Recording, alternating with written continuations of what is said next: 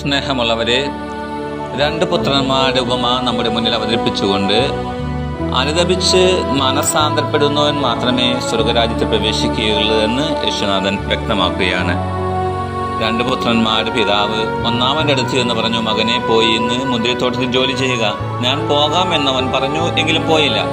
അവൻ രണ്ടാമന്റെ അടുത്ത് ചെന്ന് ഇത് തന്നെ പറഞ്ഞു അവൻ എനിക്ക് മനസ്സില്ല എന്ന് പറഞ്ഞെങ്കിലും പിന്നീട് പശ്ചാത്തപിച്ച് അവൻ പോയി. ഈ രണ്ടുപേരിൽ ആരാണ് പിതാവിന്റെ ഇഷ്ടം നിറവേറ്റിയെന്ന ചോദ്യത്തിന് രണ്ടാമൻ എന്ന് നിസ്സംശയം നമുക്ക് പറയാൻ സാധിക്കും. യേശുനാഥൻ പറഞ്ഞു ചുങ്കക്കാരും വേശികളുമായിരിക്കും നിങ്ങൾക്ക് മുമ്പേ സ്വർഗരാജ്യത്തിൽ പ്രവേശിക്കുക എന്ന്. യോഹന്നാൻ നീതിയുടെ മാർഗത്തിലൂടെ നിങ്ങളെ സമീപിച്ചു നിങ്ങൾ അവന് വിശ്വസിച്ചില്ല.